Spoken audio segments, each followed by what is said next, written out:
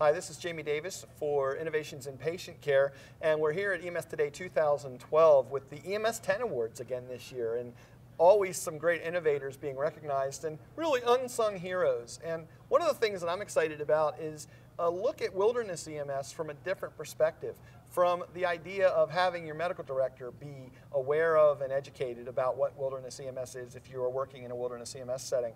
And so three doctors actually got together and put a Wilderness EMS Medical Director program together. And I also have with me here Dr. Seth Hawkins, and you're from uh, the foothills of North Carolina. That's right, outside of Asheville, Morganton, it North sounds Carolina. like you know, North Carolina should be a place that has foothills. It yes, sounds, you know, we have it all, the ocean, the mountains. That's great, that's great. So what, what kind of spurred you to say this, there was something that needed to be done? Well, I really got into medicine through uh, wilderness medicine. And uh, I like to say that wilderness medicine is the original medical specialty.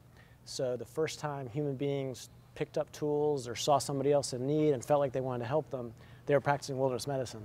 So Osler and Hippocrates and all these latecomers were all just really, you know, evolutionary from the wilderness medicine practitioner. So we think of it as a new medical specialty, but really this is the most ancient of medical arts.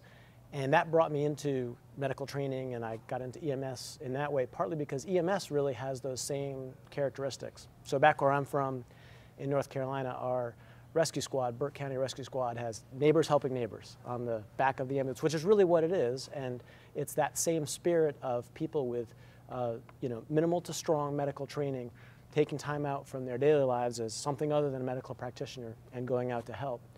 And uh, really, that was what brought me into the idea of wilderness medicine as a niche where there was some things missing from some of the urban environments where we had EMS providers with much more enhanced medical direction, much more enhanced skills, versus some of these neighbors helping neighbors out in much more remote areas that didn't have as much access to healthcare professionals.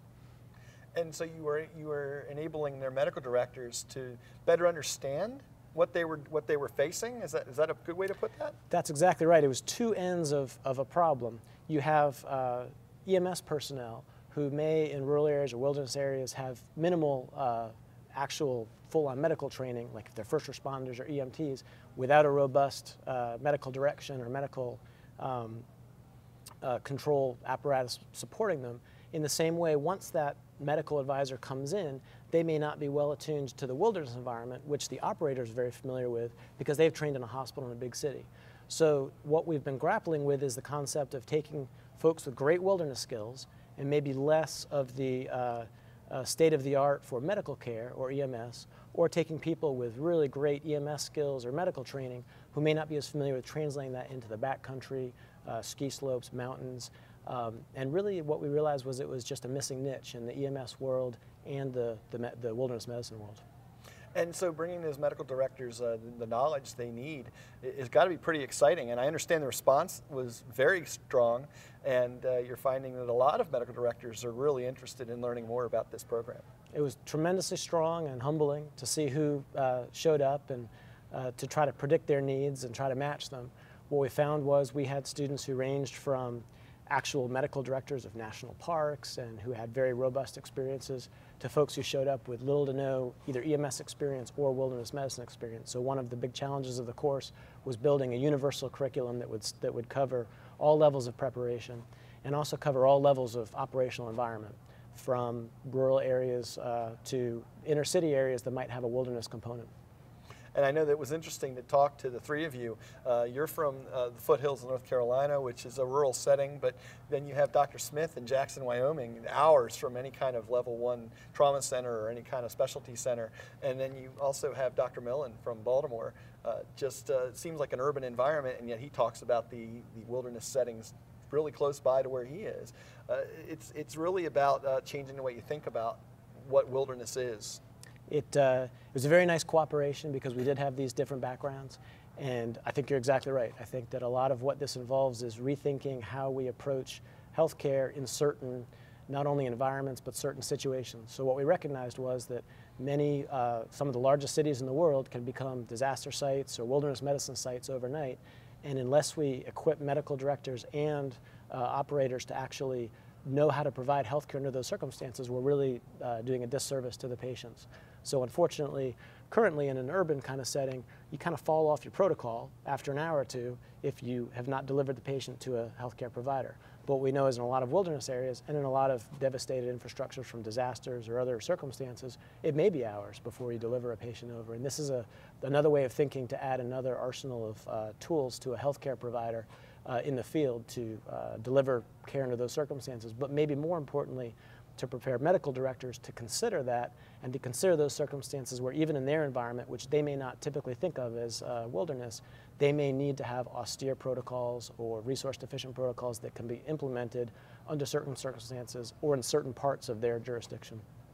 Now we talked a little bit before we actually, uh, when we first met, about being willing and open to talking to your medical director and developing a relationship. And some paramedics and EMTs are afraid to bother the doctor. But uh, in a setting where you think that when you see a need, clearly it's uh, incumbent upon me as a paramedic and a medical professional to make sure I make people aware of what my needs are.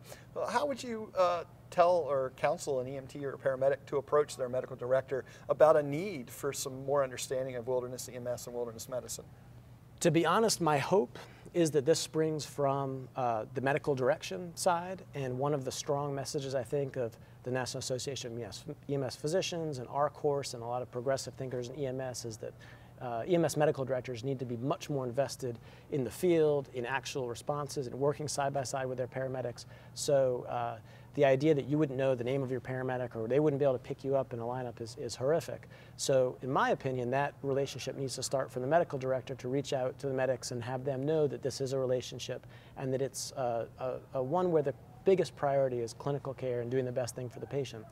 On the flip side, there'll be environments um, in much of the country where there'll need to be encouragement from the uh, field provider side to say this is a necessary uh, tool. And I think in all honesty, the most appropriate way to, um, to approach it is from the perspective of the patient and to say, uh, you know, you pull your medical director aside, you say, I have this difficult circumstance, I may be in this environment for much longer than I thought, um, you know, whatever the clinical circumstances or environmental circumstances are that would lead to that blizzard, you know, storm, hey, I'm in this state park, what do I do? And approach it from the perspective that I'd like to make sure that I'm delivering the best care for the patient.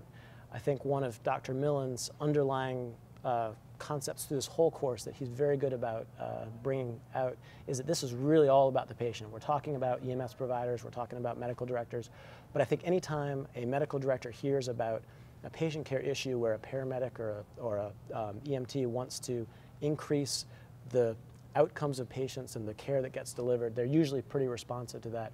But it does sometimes take a recalibration of their thinking about what the appropriate relationship is between a medical director and a provider and a provider and a patient.